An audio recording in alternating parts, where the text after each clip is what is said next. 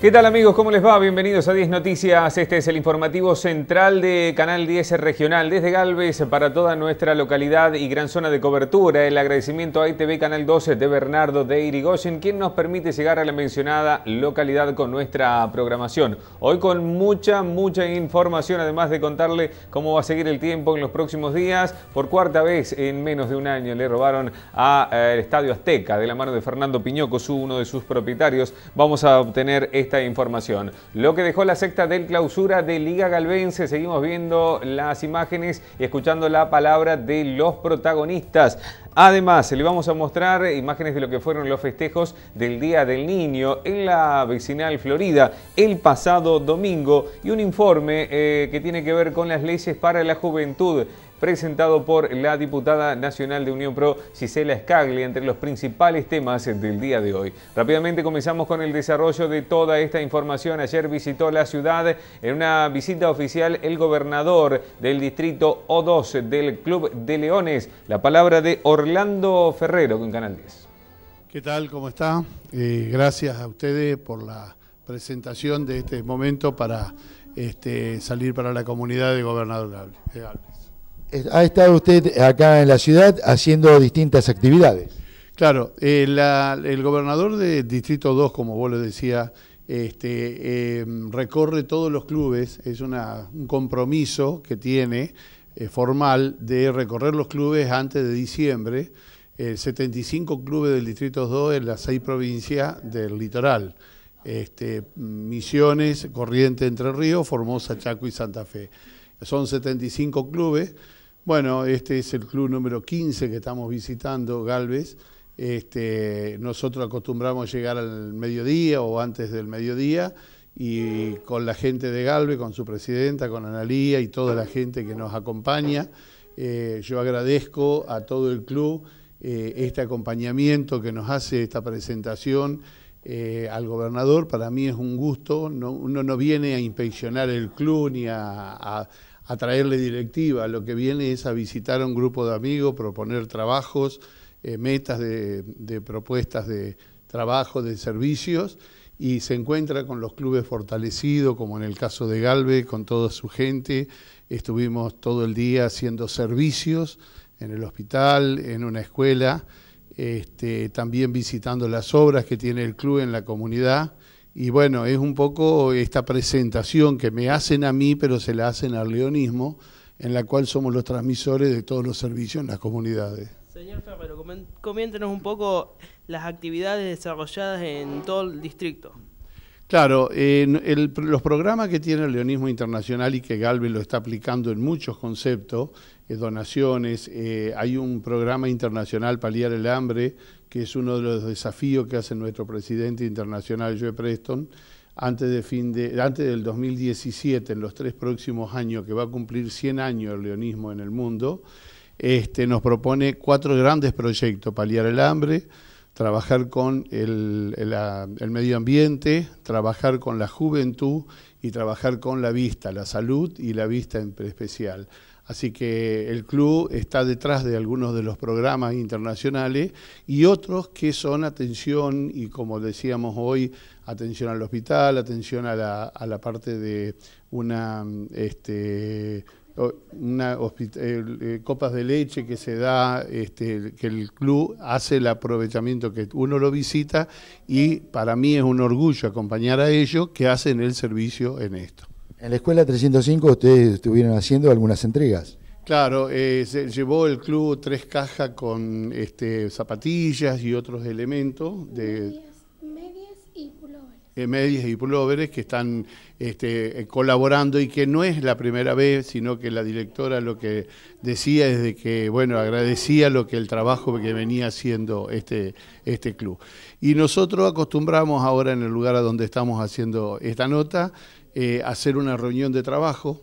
Eh, la reunión de trabajo significa de que uno se interioriza y como yo te decía, no viene a inspeccionar, sino viene a traer una este, propuesta y metas que ya la jefe de zona, que debe estar próximo o está por llegar, eh, la que corresponde a esta zona que es de Coronda, nos acompaña. Entonces, el Club de Leones Galve ha desarrollado un programa el año pasado en la cual este programa de Club Excelente, ha recibido méritos, premios, palmas, así que como ustedes lo ven después cuando tenés el paneo del, del estandarte que hace, son las palmas de premio que consiguieron con los servicios que realizaron. Un club que está activo, que la comunidad tiene que muy buen respaldo de la comunidad y los, ellos, los integrantes del club, los leones del club de Galve, eh, se prestan con servicio a la comunidad. Hoy se celebra el Día de la Radiodifusión Argentina. Un 27 de agosto de 1920, la Sociedad de Radio Argentina por boca de Enrique Telemaco Susini efectuaba en Buenos Aires la primera transmisión radiofónica realizada en el país. Desde aquí felicitamos a todos los que están dedicados a la transmisión de radio, eh, a nuestros compañeros de FM Estación del Centro, demás colegas de las radios de la ciudad de Galvez y la región. Bueno, le robaron por cuarta vez en menos de un año. Hablamos del Estadio Azteca, hablamos con uno de sus propietarios, Fernando Piñoco. Buen día. Sí, otra vez por cuarta vez nos robaron acá en el Estadio Azteca. Eh, estaría bueno que sepa que los ladrones se pasen la voz de que no hay nada para robar, así por lo menos no me rompen las cosas. Claro, es más importante el daño que lo que se llevan, ¿no? Sí, es más importante todo lo que rompieron que las cosas que se llevaron, que el valor de las cosas que se llevaron. ¿Qué rompieron? Y primero el tejido, se ve que vinieron preparados porque vinieron con herramientas para cortar el tejido, hicieron palanca en una de las ventanas, así que se ve que ya venían preparados. Y rompieron nada, la, barra donde atendemos y las ventanas y el tejido y alguna mesa. Bueno, cuatro veces, Fernando, ¿en cuánto tiempo? En menos de un año. se ve que estamos de liga. Y lo importante es que hicieron el agujero abajo de la luz que dejamos prendida y en el frente de la cancha, así que se ve que no les importa mucho si alguien nos ve o no. Bueno, es importante resaltar que la recaudación se lleva todos los días a casa, no queda nada acá. No queda nada si piensan que dejamos algún electrodoméstico como el televisor o la recaudación o algo. No, eso jamás se deja acá. Menos después de la cantidad de veces que nos robaron, así que estaría bueno que se vayan diciendo, che, mirá, no vaya otra vez, porque no hay nada para robarte allá. Estaría bueno que hagan eso. Se llevaron un, par de bebidas, unos snacks y, 10 pesos en moneda que había en la caja, nada más. Bueno, ahora lamentablemente hacer frente a los daños, las reparaciones, se va, se está pensando en adoptar algún otro sistema de seguridad. Sí, le vamos a poner 220 a todo el kiosco y no, no, nada, pues aseguraremos la ventana y arreglaremos las cosas que rompieron y esperemos, qué sé yo, que no vengan. La verdad que no sé qué cosas podríamos hacer para que no vengan alarmas, la verdad que no tengo ni idea. Bueno, es un sector eh, transitado, es ahora iluminado, ¿cómo es? Y las luces quedan acá prendidas toda la noche hasta la hora de la mañana. Y viste que está en la parte del frente donde hay todos vecinos, así que o están cebados de que están seguros de que nadie los ve, o la verdad que no sé. ya que estamos turnos disponibles para esta semana. Y tenemos, tendría que consultar la lista que debe estar tirada, en, desparramada en algún lugar del desparramo que me hicieron los que entraron anoche a robar. Gracias, Fernando. ¿Se hizo la denuncia? Mira, eh, nos dijeron que ahora hacer una denuncia, si no tenemos, si no dudamos de alguien y nombramos a alguien, ellos ya no pueden investigar. Así que eh, ahora lo trataremos con mis socios, ver si hacemos la denuncia o no. Calculo que no, que ya, ya ni nos importa. Ojalá eh, que haya sido la última, Fernando. Gracias. Esperemos que sí, gracias a ustedes por estar. Bueno, lamentable, a pesar de ser tomado ya a esta altura por eh, una de, la mejor aptitud que se puede tomar eh, de la mano de, Fernando, y él lo remarca, ¿no? Nunca hay cosas de valor así en el Estadio Azteca, así que a los amigos de lo ajeno les conviene abstenerse.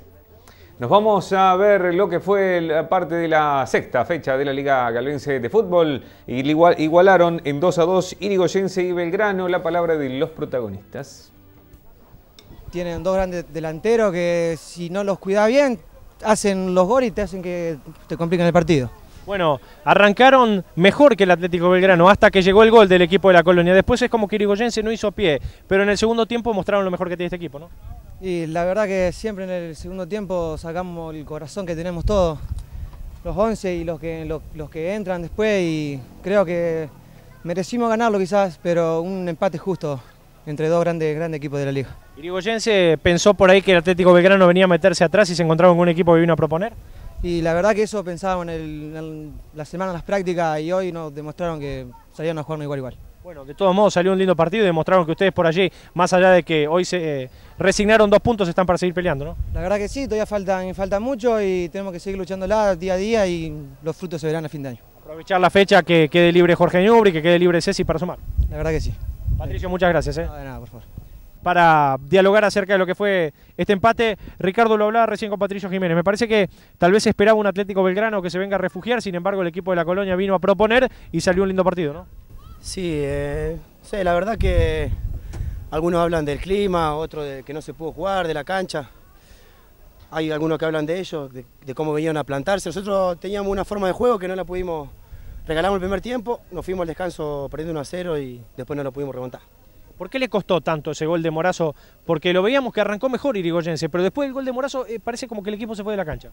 Sí, puede ser, puede ser que nos pase que somos débiles en ese, en ese sentido, que cuando nos meten un gol nos venimos muy abajo, pero generalmente lo revertimos siempre que empezamos perdiendo en este torneo, por lo menos en este año, terminamos siempre saliendo victoriosos o, o- o empatamos. Esta vez empatamos y nada, con sabor a poco el punto. Cuando uno dice, cuando uno no puede ganar, lo importante es no perder, pero me parece que por allí el empate, sobre todo para lo que significa este Irigoyense a esta altura del campeonato, es con gusto a poco, ¿no?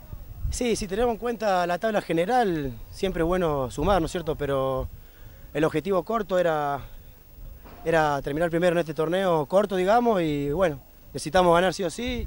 El empate, como vos decís, suma, pero no nos sirve tanto como si hubiésemos ganado. Esperar que ahora el Jorge Ñubri resigne algún punto, ¿no? Otra vez, a esperar. No queda otra. Faría, muchas gracias. No, a usted. Gracias a Ezequiel Tántera y el equipo de 95-7 Fútbol Club por su constante colaboración. Las noticias del ámbito policial nos llevan hasta Barrio Este. Anoche se, eh, se escucharon disparos. Bueno, en busca de la información podemos informar que anoche se realizaban disparos antitumultos de la fuerza policial para poder aprender a un masculino por intento de robo en 24 de septiembre y 9 de julio en una vivienda. Bueno, el cual se había dado a la fuga. Este masculino oriundo de nuestra ciudad de Galvez de 20 años ya está detenido. La pausa, señor director. Usted no se vaya, ya venimos con más información.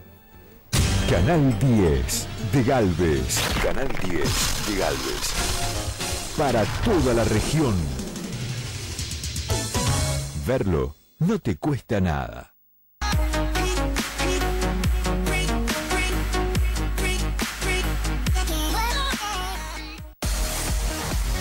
Oasis Producciones, sonido e iluminación profesional, cumples de 15, casamientos, graduaciones, bandas en vivo y grandes eventos. Oasis Producciones, todo en iluminación inteligente, ambientación LED, show láser multicolor, pantalla gigante, humo bajo, pistas de LED, telón LED, DJ exclusivo, la estructura que marca la diferencia en tu fiesta. Spider Structure.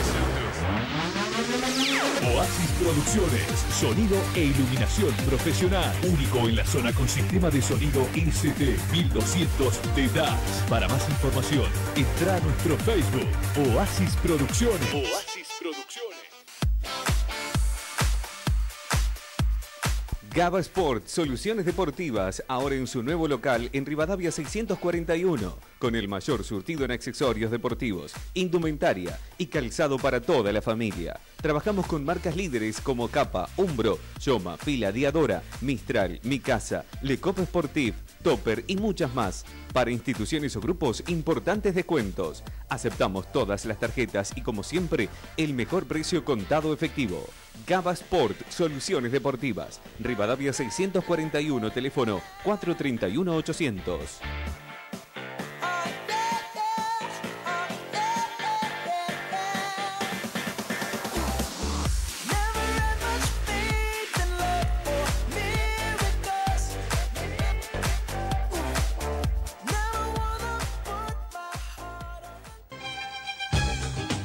Puerto Libre, en Belgrano 714 de Galvez. Juguetería, librería y todas las novedades. Puerto Libre. Antes éramos los únicos. Ahora tratamos de ser los mejores. Puerto Libre, Belgrano 714, teléfono 03404 483 880 en Galvez y para toda la región.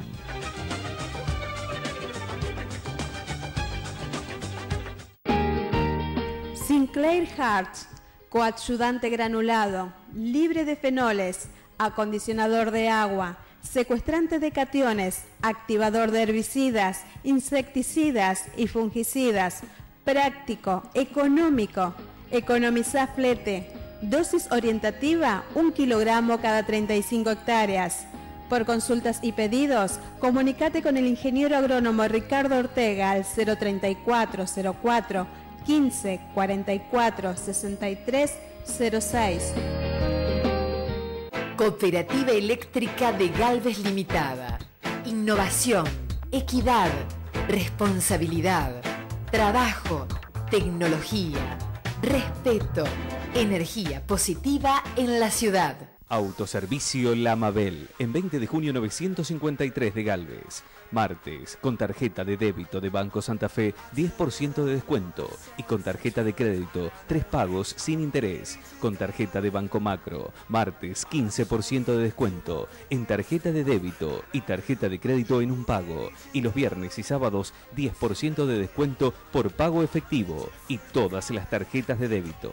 Autoservicio La Mabel. Teléfono 03404 482 373. Tradición y calidad.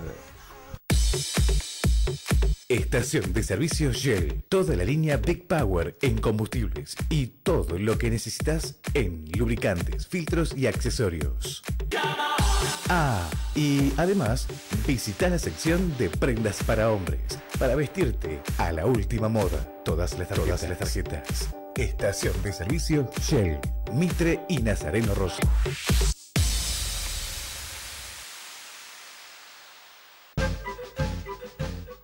Cooperativa Agrícola Ganadera de Bernardo de Irigoyen Limitada. Acopio de cereales y oleaginosas. Remate Feria en Bernardo de Irigoyen y Colonia Aldao.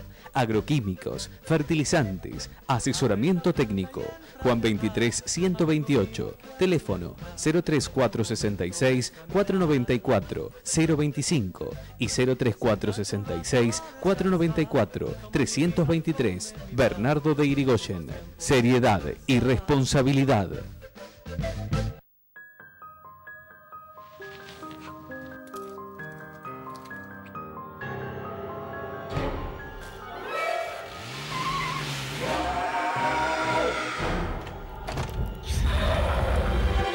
Aleja los fantasmas de tu cabeza. San Cristóbal, Seguros Generales. Pensá en lo importante. Playground Deportes de Marcelo Ottolini. Te esperamos con las mejores marcas en calzado e indumentaria deportiva. Nike, Adidas, Puma, Sonder, Reebok, Avis, Vandalia y además somos agente oficial en Galvez y la zona de la prestigiosa marca Converse. Tenemos todos los elementos para que practiques tu deporte favorito. Trabajamos con descuentos por pago contado y con todas las tarjetas de crédito. Playground Deportes, Belgrano 517, teléfono 480 062.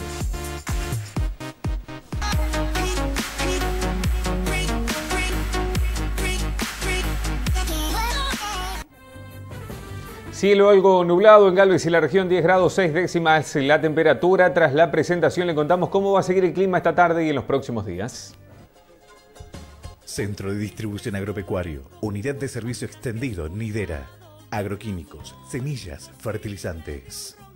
Representantes zonales de productos DuPont, Matorras 493 bis, teléfono 03404 430 331. La máxima prevista para el día de hoy, miércoles 13 grados, cielo algo nublado, vientos leves de direcciones variables para lo que resta de la jornada. Para mañana jueves, 2 grados la mínima, 18 la máxima con nubosidad variable. El viernes, 3 grados de mínima, 21 de máxima con el cielo algo nublado. El sábado, nubosidad variable, 6 grados la mínima, 26 la máxima. Suministrado por el Servicio Meteorológico Nacional, el pronóstico es presentado en 10 noticias por Agro, Centro de Distribución Agropecuaria. Festejos del día del Niño, organizados por la Municipalidad de Galvez en la vecinal La Florida. La palabra de integrantes del equipo de gobierno municipal. Bueno, Marcela, contanos cómo se vive el Día del Niño hoy en la vecinal Florida. Bueno, realmente estamos felices porque la convocatoria este, realmente fue muy buena.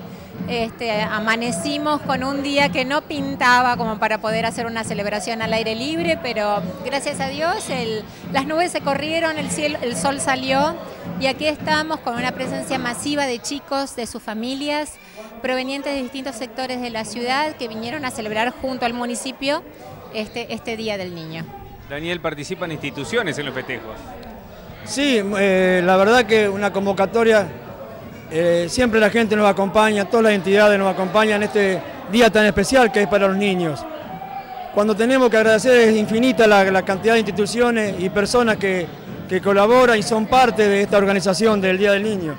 Por eso reiteramos el agradecimiento a todos, a todos por igual, como para que podamos en conjunto organizar esta actividad tan hermosa que es el Día del Niño.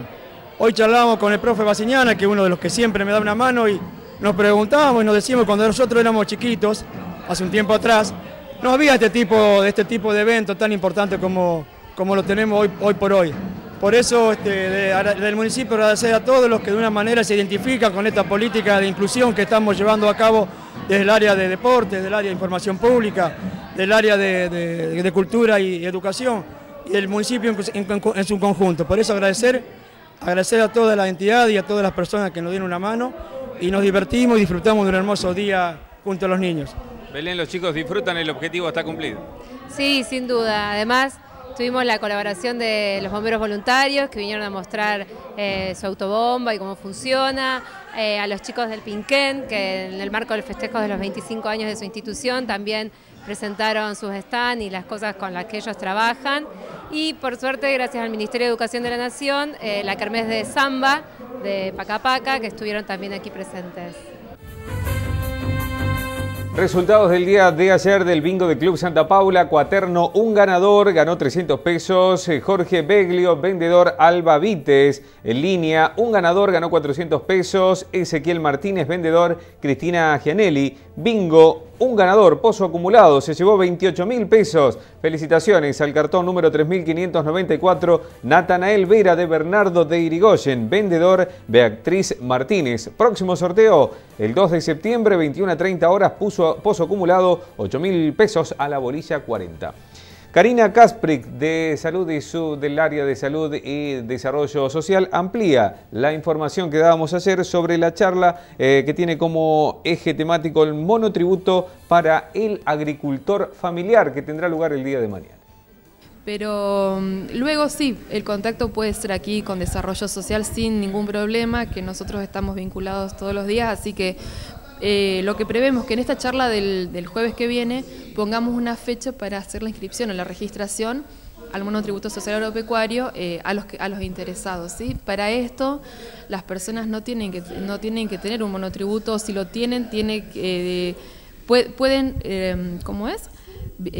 pueden inscribirse en el monotributo social agropecuario demostrando que no puede pagar el monotributo que tiene actualmente, ¿no? Puede eh, recategorizarse, ¿sí? No dar de baja, sino si está al día con, lo que es los, los, montos del monotributo, puede recategorizarse al monotributo social agropecuario a costo cero. Nosotros lo que vamos a hacer cuando el día de la registración, que también vamos a, poder informarlo a la comunidad, el interesado, la interesada, tiene que acercarse eh, al día de la registración con sus documentos, ¿no? con el documento del grupo familiar, del titular y del grupo familiar porque esto también, eh, el monotributo comprende que para el titular tiene eh, aportes jubilatorios. Y para el grupo familiar, además, digamos, eh, el grupo familiar tiene obra social. Y a elección de las demás 500 obras sociales que hay en Argentina, lo que habramos, tendremos que pensar y, ver y tener la información exacta aquí en Galvez qué conviene a la familia inscribirse, digamos, ¿sí? y bueno, después la posibilidad de hacer su facturero B, digamos, ingresar a la economía formal, que es un poco el desafío que las familias, en, digamos, los campesinos organizados hace un montón de tiempo en Argentina venían pidiendo al Estado Nacional que eh, pudiera implementar esta herramienta. ¿Serían muchas las familias en nuestra ciudad que podrían ser beneficiadas? Y en realidad estamos eh, a la expectativa de este jueves, porque no eh, tenemos un registro de la municipalidad que, que de distintas actividades, de apicultura y de cría de cerdos. Eh, nosotros estuvimos haciendo un recorrido con lo que es eh, familias que tienen pequeños tambos alrededor de la ciudad.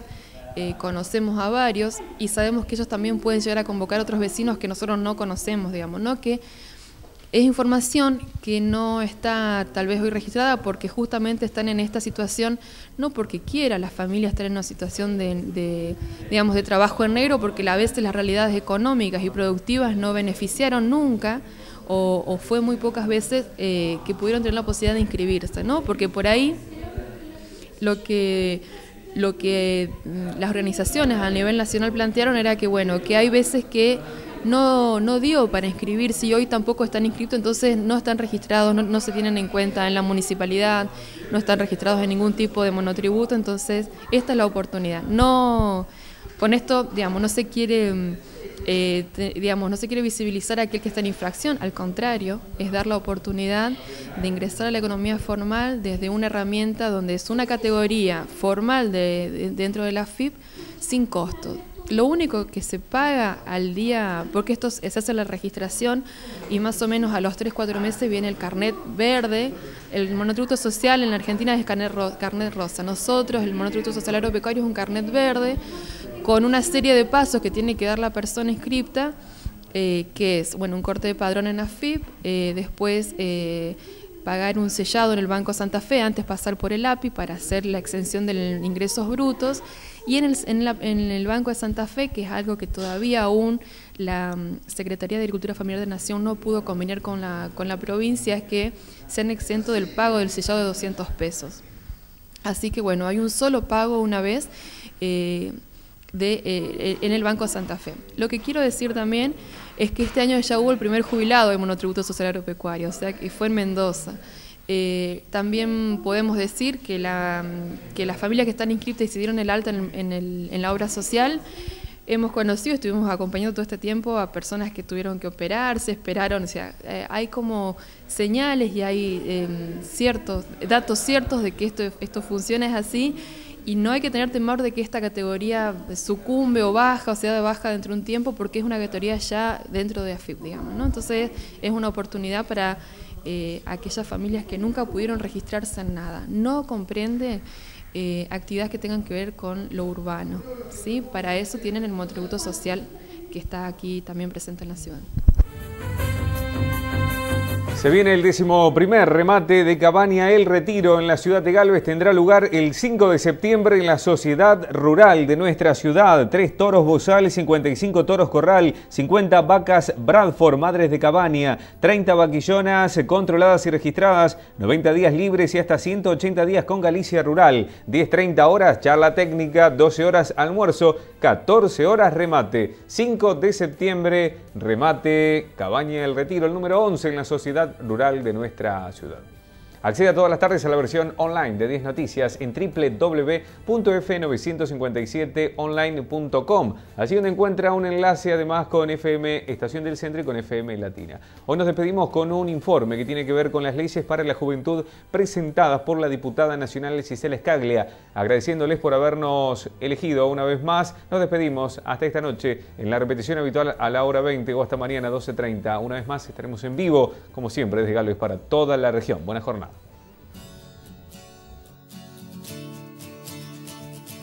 Hoy presentamos una serie de proyectos que son el principio de proyectos que vamos a trabajar respecto a políticas y leyes para la juventud.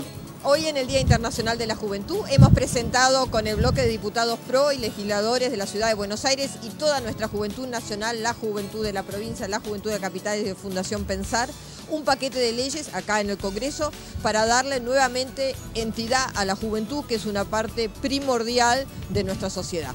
En el marco del Día Internacional de la Juventud, estamos presentando junto al Congreso de la Nación un paquete de leyes de nuestro bloque que tienen que ver con dos objetivos claros. En primer lugar, darle a los jóvenes de la Argentina más herramientas para poder acceder al mercado laboral y en segundo lugar un conjunto de derechos que para nosotros eh, son importantes empezar a destacar y empezar sobre todo a hacer valer, que tienen que ver con el acceso a la primera vivienda, con el diálogo, con el primer empleo. En mi caso estuvimos trabajando sobre el proyecto Aprender Practicando, que le quiere dar a los chicos del último año de la secundaria la posibilidad de terminar la secundaria con un oficio o profesión y que pueda tener una práctica en una empresa o comercio, de tal forma que termine el colegio con una posibilidad de un primer empleo.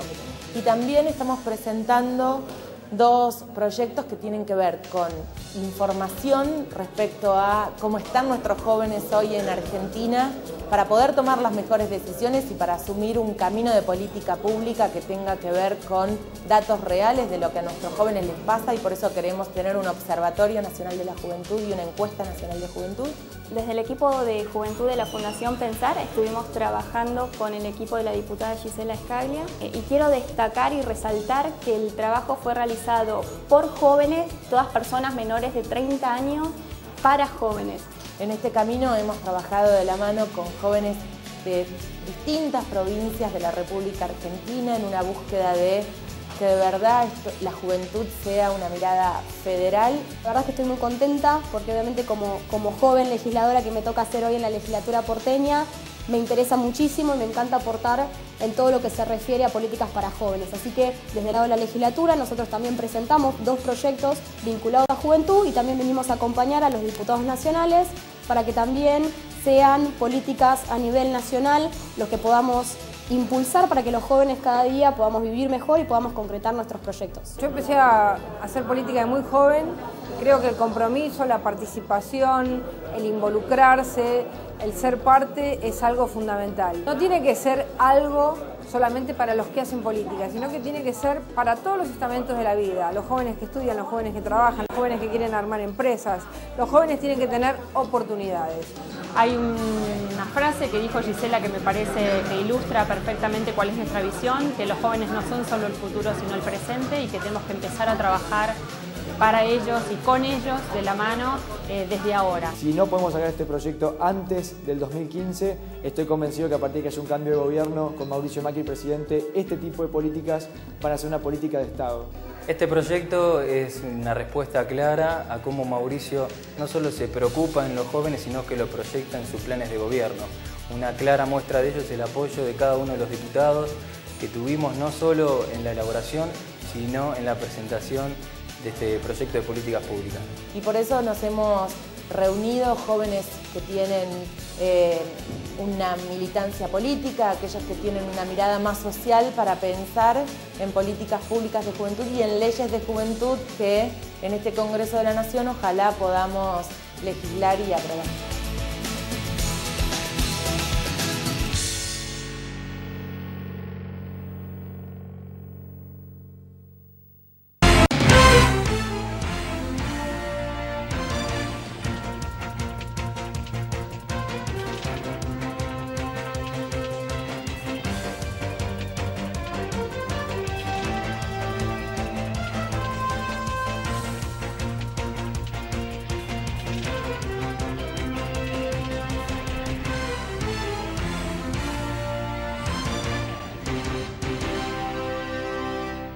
El sábado 20 de septiembre revivimos las mejores películas de todos los tiempos en un show coreográfico presentado por los alumnos del estudio Luis Taja. Películas como Robin Hood, Armageddon, Mamma Mia, Frozen, Flash Dance, Rápido y Furioso, entre otras, serán representadas con coreografías de diferentes estilos, como salsa, bachata, hip hop, reggaetón y jazz pop. La cita es en el Teatro Marconi a las 20.30 horas, anticipadas de lunes a jueves de 18.30 a 21.30 horas en el Salón Frontal del Club Centenario. Teléfono 3404 155 27073 en Facebook Estudio Luis Taja.